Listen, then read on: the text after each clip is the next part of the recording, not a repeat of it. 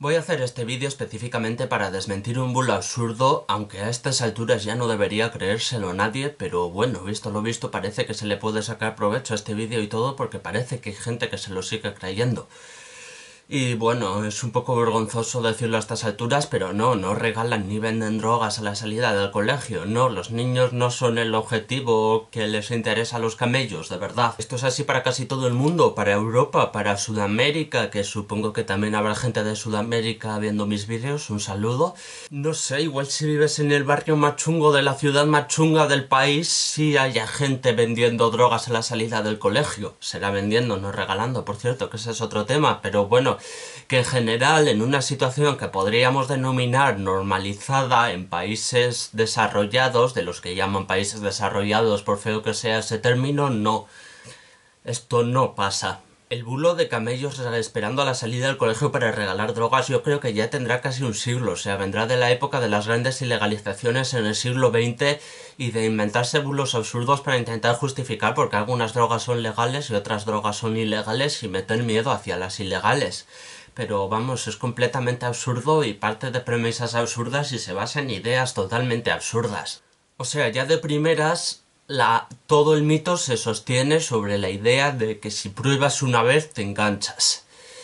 Entonces se regala la primera dosis para enganchar a la gente, ¿no? se vende incluso la primera dosis para enganchar a la gente. Bueno, ¿qué más da? O sea, eso es absurdo porque no es así. No hay ninguna droga lo bastante adictiva como para enganchar con un solo consumo. Eso no tiene sentido y es uno de los mitos más repetidos de las drogas. Este mito también se repite no solo para justificar chorradas como lo de regalar a la salida del colegio, sino también para otras cosas. Pero no, no hay ninguna droga que probando una sola vez desarrolle es una adicción física. Muchísimo menos, claro, podrías desarrollar una adicción física por probar una vez una droga que no sabes lo que es como vienen en las versiones todavía más absurdas de este bulo, que son las de que meten droga en los chicles o meten drogas en las calcamonías y los regalan a los niños en el colegio. Que, que yo lo he visto, en 2019 he visto a gente creyéndose esta mierda. Oye, ¿quieres un chicle? Oh, gracias. ¡Qué buena broma! ¿Broma por qué? Ya eres adicto a la heroína.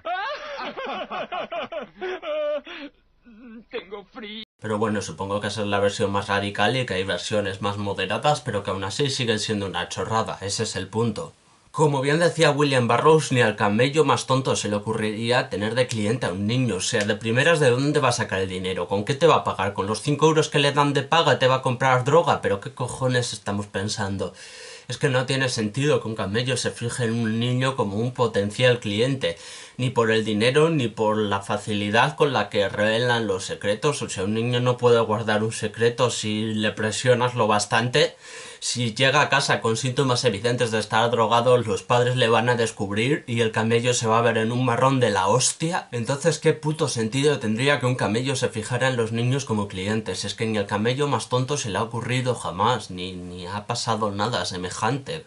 Y luego hay una versión más moderada de este bulo que ya puede tener en cuenta colegios e institutos en la que ya no estamos hablando de niños sino de adolescentes, preadolescentes, que bueno, ahí sí puede pasar que les vendan droga. Es, es una posibilidad, vamos.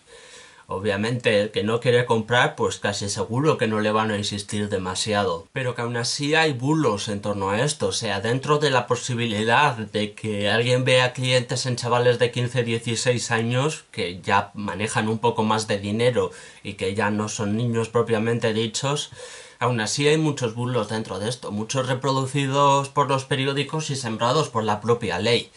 Y en ese sentido sí me gustaría añadir una aclaración extra que ya se aleja un poco del campo de la leyenda urbana, pero que viene a cuento porque la legislación española sí que considera un agravante el tráfico de drogas en centros docentes o en sus proximidades.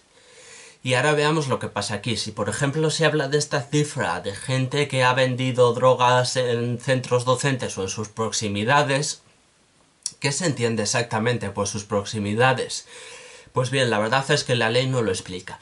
El artículo 369 del Código Penal habla de centros docentes o de sus proximidades, pero no explica qué son esas proximidades. Esto es prácticamente una trampa legal, o sea, quien ha redactado eso o lo ha hecho como el culo porque es un inútil o lo ha hecho así a propósito para que se pueda hacer trampas. Pero eso, como veis, en el Código Penal no se especifica en qué consisten las proximidades de un centro docente. Esto significa que si le caes mal a los policías que te arrestan, si le caes mal al fiscal y si le caes mal al juez, pueden considerar que las proximidades de un centro docente son, qué sé yo, 300 metros, por decir algo. Y si te sitúas en un punto cualquiera al azar de una ciudad o de un pueblo medianamente grande, seguramente en alguna dirección hay algún tipo de instituto, colegio, guardería o centro docente a menos de 300 metros. O sea, aunque esté escondido tras tres manzanas de edificios y tú no sepas que está ahí, seguramente hay algún tipo de instituto a menos de 300 metros. Esto significa que en la práctica pueden ponerte un agravante en la multa por vender drogas en las proximidades de un centro docente, aunque no te hayas enterado siquiera que estés en las proximidades de un centro docente, ni nadie de ese centro se haya enterado que tú andas vendiendo. O sea, en la práctica vender drogas en las proximidades de un centro docente es más bien un agravante que se pone para recaudar más dinero y para joderte mal si le caes mal a la persona que te arresta.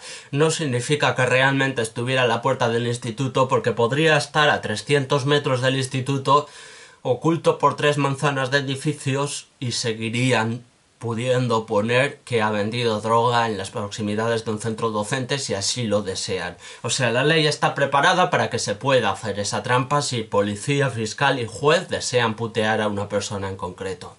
En resumen, eso de la primera dosis es gratis es un mito muy bonito, pero no tiene mucho sentido, porque se relaciona con eso, con el mito de que una droga es lo bastante potente físicamente para producirte una adicción en cuanto la pruebas y no existe tal droga así.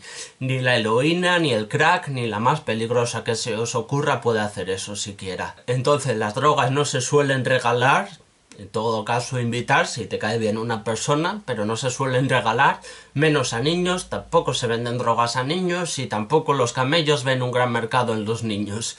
Y seguramente cuando un político habla de drogas así en general y dice que hay que controlarlas porque nuestros niños están en peligro, ese político sea un gilipollas y un psicópata y se esté riendo de vosotros a la cara directamente porque los niños y las drogas no están especialmente muy relacionados. Obvio que hay casos.